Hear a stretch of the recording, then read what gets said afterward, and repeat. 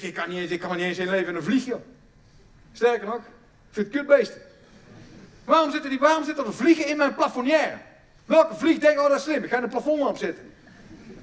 Als iemand licht aan doet, je fikt af. Nee, maar serieus, hoe komen, hoe komen vliegen in mijn plafonnière? Waarom zitten er vliegen in mijn plafonnière? Die beesten hebben drie dagen te leven. Wat denk je dan als vlieg? Je ontpopt je als larf, je slaat je vleugeltjes uit. Dan denk ik, ik heb drie dagen te leven, wat zal ik vandaag? Hm, ik weet het al. Ga kleine zwarte puntjes poepen in de plafonnière. Want dat is wat ze doen, kleine zwarte puntjes poepen. Die je er niet afkrijgt. Er zit een muur vast. Zitten keihard die dingen. Er zit een muur vast. Ik heb mijn nagel als kuurspotje krijgt het niet af. Muur vast die dingen. Ze keihard afvreten die beesten. 10 seconden lijm.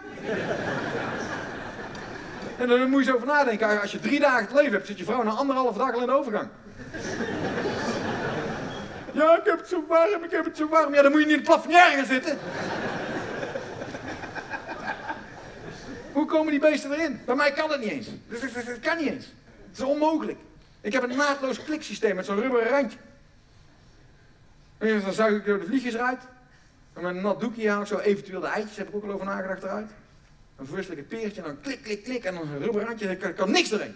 Een week later loop ik onderdoor, kijk naar boven zitten 20 van die kutbeesten. Hoe kan dat? Wie? Dan gaat hier niemand weg. Ja, maar serieus joh. Wie?